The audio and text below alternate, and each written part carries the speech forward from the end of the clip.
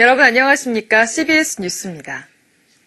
2014년 서울에서 열리는 세계복음주의 연맹 WEA 총회에 이단성을 의심받고 있는 장재형 목사가 개입하고 있어 한국교회 우려가 커지고 있습니다.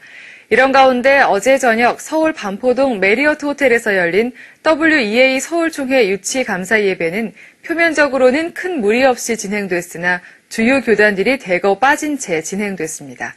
박성석 기자가 보도합니다. 한국기독교 총연합회가 2014년 세계복음주의 연맹, 즉 WEA 서울총회를 유치해 한국교회가 함께 기뻐해야 하지만 현실은 그렇지 못합니다. 바로 WEA 총회 유치와 준비 과정에 이단성을 의심받고 있는 장재영 목사가 개입돼 있기 때문입니다.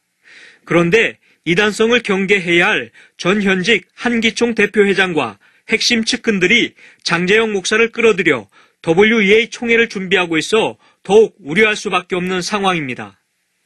특히 장재영 목사가 속한 예장 합동 보금총회 소속의 실무자 2명이 한기총에 파견돼 WEA 총회 준비를 주도하고 있습니다.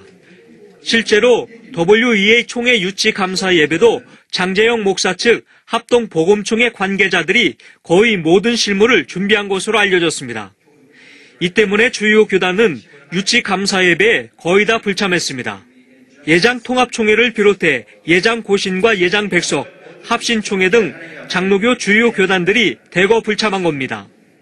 특히 WEA 총회 유치에 핵심적 역할을 한 이광선 직전 대표회장이 주요 순서를 맡고서도 불참했는가 하면 길자연 대표회장과 같은 교단인 예장합동 이기창 총회장마저도 불참했을 정도입니다. 통일교와 깊은 관련성 있는 건물에서 진행됐다는 점도 참석을 꺼린 사람들에게 핑계거리를 제공하기도 했습니다. 그러나 관심을 모았던 장재영 목사는 행사장에는 끝내 모습을 드러내지 않았습니다.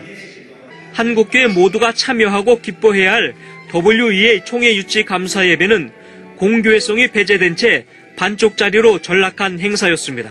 CBS 뉴스 박